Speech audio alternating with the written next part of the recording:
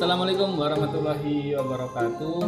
Ya, Eh, alhamdulillah ya ini sudah seminggu ya sudah satu pekan ya dari mall kita ya eh, sudah jadi ya yang dari Yakult ya mungkin anda sudah mengikuti dari apa namanya dari story di WA ya day to day-nya gitu ya terus kemudian yang dari Cim, eh, yogurt Cimori juga sudah ada gitu ya day to day-nya gitu ya pasti saya, saya fotokan ya tiap hari gitu ya nah Eh, hari ini tadi eh, adalah sepekan setelah eh, kita membuat mall yang pertama.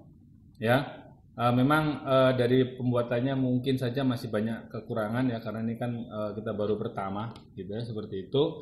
Terus kemudian eh, di Yakult itu dia sudah ada semacam memisah di bagian atas ya. Terus kemudian di bagian atasnya juga sudah tumbuh kapang ya eh, kapang atau kamir ya warna putih-putih lah ada ivanya segala macam tadi ya. Terus kemudian di eh, Yakult juga eh, gelembung udaranya besar juga ya. Kemarin kita menggunakan sistem eh, tertutup sebenarnya semi eh, anaerob gitu ya. Jadi seperti itu. Nah, nanti Anda Anda cari tahu seandainya dia aerob dan seandainya anaerob gas yang terbentuk seperti apa.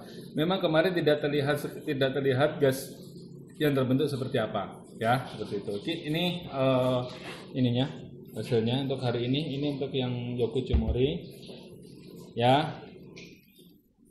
Terus kemudian ini untuk yang Yakult ya. Yang Yakult memang lebih lebih ada ininya ada lebih coklat sedikit ya tidak apa-apa nah terus kemudian nanti aplikasinya gimana ya aplikasinya kita bandingkan dengan yang eh, EM4 ya oke ini sudah diencerkan gitu ya.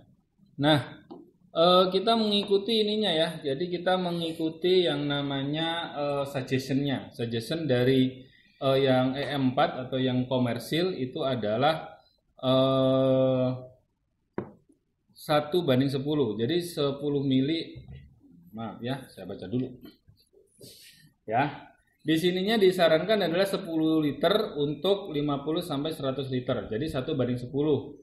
Ya, tetapi ditambahkan e, molase juga. Jadi untuk yang ini yang komersil ini tadi sudah saya tambahkan e, saya ambil 100 mili, 100 mili dari e, komersil, tambahkan 100 e, tambahkan 100 mili dari molase, terus kemudian ditambahkan air.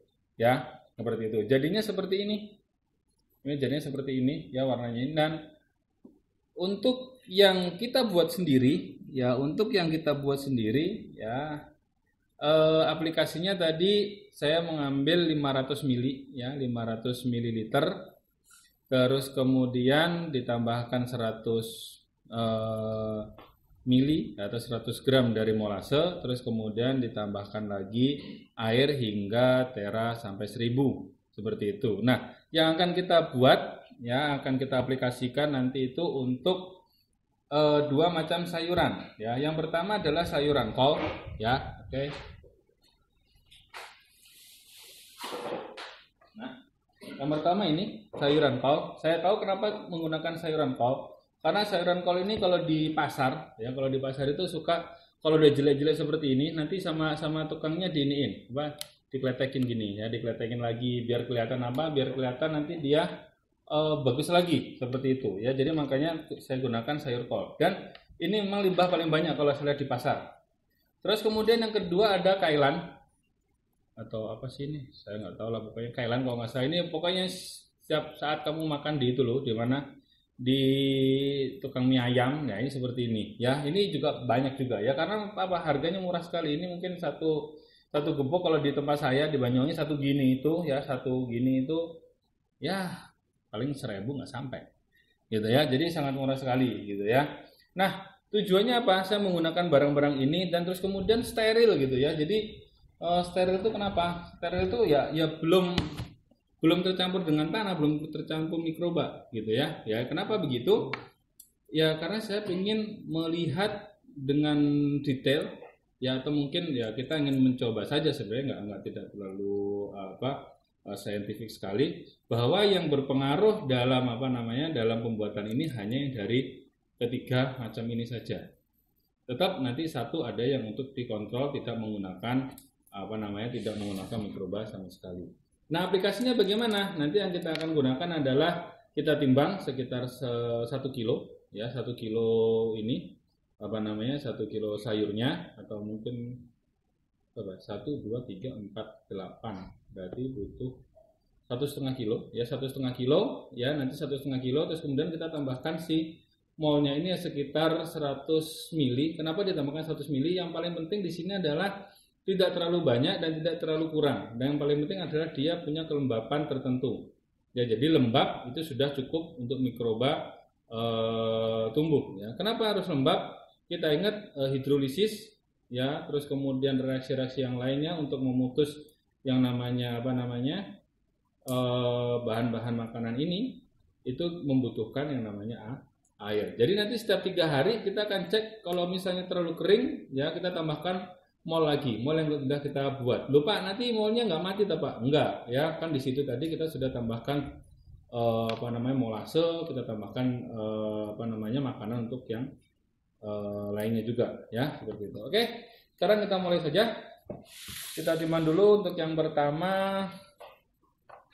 Ya untuk yang pertama. Oke. Ya yang pertama ini adalah untuk call dulu ya. Jadi kita untuk yang call dulu ya kita timbang sekitar satu setengah kilo. Pasti kamu ada yang bilang ya sayang ya. Ya enggak lah ya namanya pelitian ya begini. Ya gitu ya. Jadi nggak sayang ya enggak lah. Nanti kalau susah dibalik-balikin aja gitu ya. Oke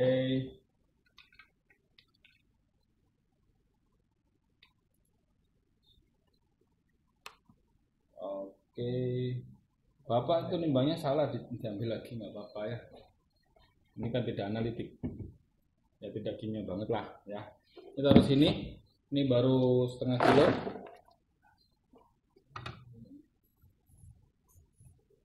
Oke.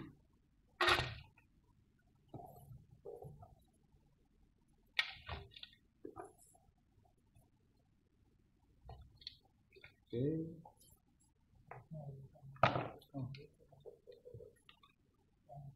Oke, satu kilo.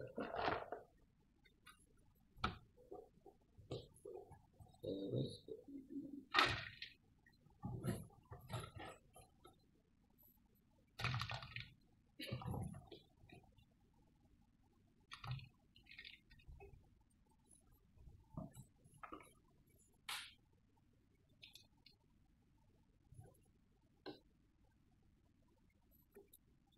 Oke. Ya. Ini sudah satu setengah kilo. Nah, oke yang paling pertama harusnya memang kita nanti akan berair-layer ya. Kalau kita menangani mungkin ratusan kilo ya nggak bisa ya dibuat satu-satu gitu kan nggak bisa ya. Tetapi karena ini sedikit, jadi tidak tidak perlu berlayer-layer juga ya. Artinya biasanya sedikit disemprot terus kemudian ditumpuk lagi semprot lagi ditumpuk lagi semprot lagi. Itu biasanya kalau aplikasi kita menggunakannya yang bertonton ya. Nah, sekarang kita menggunakan 100 mili. Ini juga masih pertama artinya uh, kita trial and error juga gitu ya. Oke kita tuangkan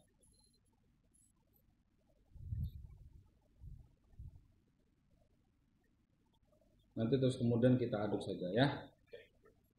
Kita aduk. Oke. Ya. Nah ini yang dari yang komersil sudah lumayan sekali ininya semelnya ya jadi semelnya benar-benar sudah mantap. Oke. Nah ini sedikit cenderung lebih basah gitu ya jangan tidak apa-apa kita coba saja. Nah, nanti di bagian atas kita akan tutup dengan menggunakan plastik. Nah, ini ini sudah rata semuanya. Pak, maaf Pak, uh, sorot di sini ya Pak ya. Maaf Pak, maaf Pak, maaf maaf. maaf. Ya, ini ya, uh, ini sudah uh, apa namanya sudah sudah tercampur semuanya. Ya, nanti kita akan lanjutkan untuk yang kailan dan untuk yang lainnya dengan perlakuan yang berbeda. Sama Pak. Nah, gitu. Oke, kita akan lanjutkan untuk yang lainnya lagi. Oke, ya. Jadi ini adalah hasil dari ini ya. Apa namanya? Hasil dari percobaan kita tadi ya. Masih diingat tadi ada berapa perlakuan? Ada eh, tiga perlakuan. Satu menggunakan yang namanya eh, komersil, yang kedua menggunakan Yakult, yang ketiga menggunakan Yoguchi yang keempat adalah tidak ada perlakuan sama sekali. Ya, ini adalah yang keempat. Dan yang di sini adalah perlakuan mikrobanya dua kali lipat dari yang perlakuan yang di sini. Ya, jadi yang di sini tadi kita kita tahu bahwa perlakuannya adalah eh, serat 1500 gram ya 1500 gram dari apa namanya dari eh, bahan baku terus kemudian ditambahkan dengan 100 mili eh, mikrobanya ya atau molnya atau W4-nya seperti itu. Nah, gunanya apa? Ya, kenapa Pak nggak boleh lebih lebih lebih lagi gitu ya? Bisa jadi nanti apa eh, dia lebih terlalu moist ya atau terlalu ini. Persyaratannya dari beberapa literatur itu hanya uh, dia lembab saja ya. Seperti itu. Oke. Nah, ini sudah dicampurkan ya. Kita menggunakan sistem uh, aerob ya. Jadi kita tambahkan di sini sistemnya aerob ya. Kalau anaerob susah juga gitu ya. Di aplikasi di lapangannya pun juga terkadang tidak ada yang anaerob karena ya namanya limbah kan seperti itu.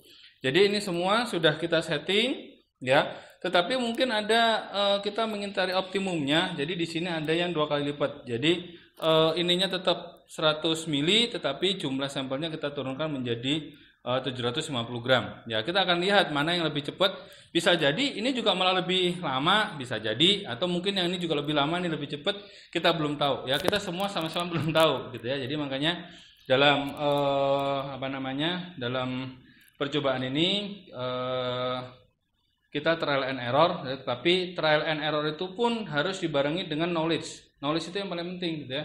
Jadi knowledge-nya apa gitu. Kalau kita trial and error tapi nggak punya knowledge nanti banyak barang yang terbuang. Sedangkan kita dikejar oleh waktu.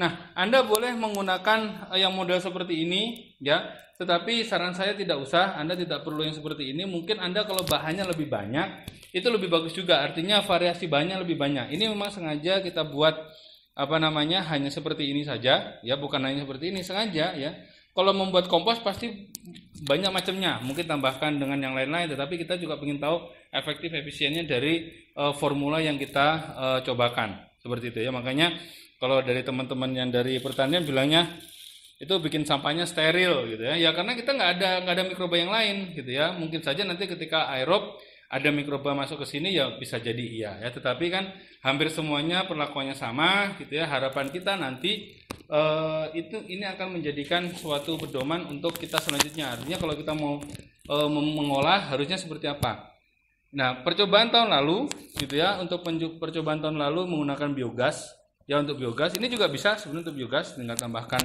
uh, gas metannya saja gitu ya. tahun lalu itu yang paling cepat menghasilkan gas adalah yang dari kol. Kol putih ini paling cepat. Tetapi ya dia tidak dia kalah dengan uh, satu lagi limbah dari jus. Jadi jus yang biasa kamu beli kalau sore itu kalau di Malabar itu ada jus kemudian dia ditambahkan. Nah itu dia cepat ya cepat sekali membuat apa namanya gas ya tetapi uh, apakah itu gas metan atau tidak tidak tidak tahu. Kita hanya tahu bahwa prinsipnya kalau misalnya misalnya anaerob biasanya dia yang tumbuh adalah uh, yang gas metan seperti itu ya. Jadi uh, pada saat pagi dibuat sore itu sudah timbul gelembung gas gitu ya. Tetapi kita nggak tahu gasnya gas apa ya. Seperti itu. Oke, uh, silahkan membuat tugasnya ya. Silahkan membuat tugasnya bentuknya mall bikin mall dulu seminggu terus kemudian aplikasi. Aplikasinya bahannya apa saja terserah Anda. Ya, Bapak tidak membatasi, pokoknya satu kelompok harus ada satu.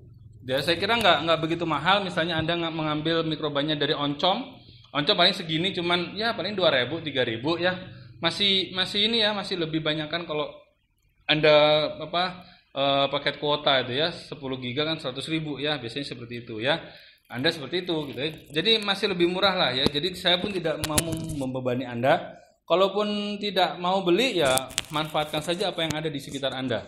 Ya misalnya Anda punya apa namanya mikrobanya. Yang paling penting apa? Jelas, jelas asalnya dari mana dan ada justifikasinya. Ada, ini loh Pak, saya ambilnya dari sini. Misalnya di rumahnya ada punya peternakan sapi, Pak saya nggak mau pakai mikroba itu, saya mau pakai dari yang langsung pup sapi yang masih panas gitu, baru keluar saya tampung, saya ambil, saya masukin sini, nggak apa-apa. Yang penting apa dijustifikasi saja, berapa banyak. Dan harus ada videonya juga, gitu ya. Kamu pembuatannya divideokan saja. Tidak usah terlalu profesional, nggak apa-apa, gitu ya. Yang penting pakai handphonemu bisa, yang penting kita ada hasilnya. Jadi Anda nanti bisa presentasi. Sehingga di mata kuliah ini Anda tidak hanya e, mengetahui secara teoritis juga, tetapi memang banyak prakteknya juga. Ya, ini adalah tugas yang kedua. Yang pertama adalah liquid e, smoke. Oke? Ya, jadi tugas ini nanti dipresentasikan kapan? Nanti dipresentasikan pada e, pertemuan ke-9 kalau nggak ke-10. Jadi untuk tahu ke-9 dan ke-10 itu nanti bagus atau tidak, Anda harus buat dari sekarang. Karena biasanya dia membuat mungkin sebulan dua bulan.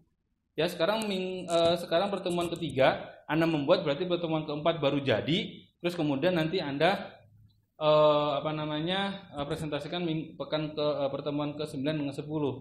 Terus kemudian ada yang bilang, Pak, saya saya kalau kalau tiga macam keberatan. Ya enggak, Anda cukup bikin satu saja. Mau misalnya Pak, saya pengen buru-buru sekarang, saya saya beli M4 aja yang sudah ada. Silakan sekarang, ikutin prosedurnya. Ya, seperti itu. Jadi eh, itu rule-nya ya tidak perlu semuanya bikin banyak nggak perlu juga tapi kalau kamu membuat banyak ya boleh-boleh saja ya tetapi saran saya satu saja ya mallnya mau bikin dari apa ditentukan terus kemudian pak ini ada kapalnya segala macam ya itu yang kita pinginkan. Itu yang kita inginkan gitu ya. Jadi nanti kita bisa tahu efektivitasnya seperti apa. Pak nggak ada molase pakai gula merah nggak ada gula merah ya sudah pakai uh, gula putih saja gula apa namanya gula putih saja gitu ya seperti itu. Ya yang penting kan tadi ada proteinnya ada karbohidratnya ada mineralnya seperti itu. Sehingga apa? Uh, kita tahu mineral itu sedikit tetapi dia butuhkan untuk apa namanya uh, agar supaya reaksi enzimatis itu tetap berjalan. Ya seperti itu. Mungkin kalau kurang jelas silahkan tanya di WA 081194333367 oke sekian tugas hari ini. Ya kita saya akan update kondisinya kondisi dari masing-masing ini mungkin per tiga hari. Jadi karena sekarang hari Jumat mungkin dari Senin mungkin nanti hari Jumat lagi seminggu dua kali atau seminggu tiga kali nanti akan saya update via WA ya. Makanya cek status WA saya terus ya. 0811 94 Oke, saya akhiri. Assalamualaikum warahmatullahi wabarakatuh.